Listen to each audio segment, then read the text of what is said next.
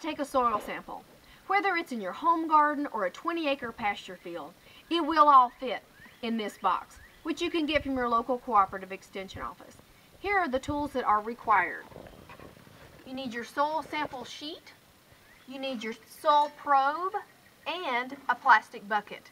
If you don't have a soil probe, you can borrow one from your local cooperative extension office or your soil and water office, or you can use a shovel. If you choose to borrow the soil probe, you want to place it on the ground like a T.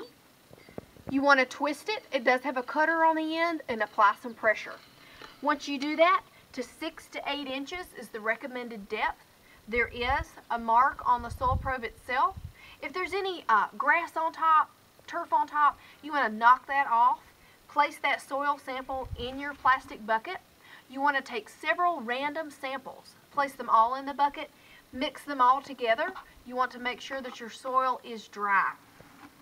Take a portion of that mixture and fill your soil sample box to this red line.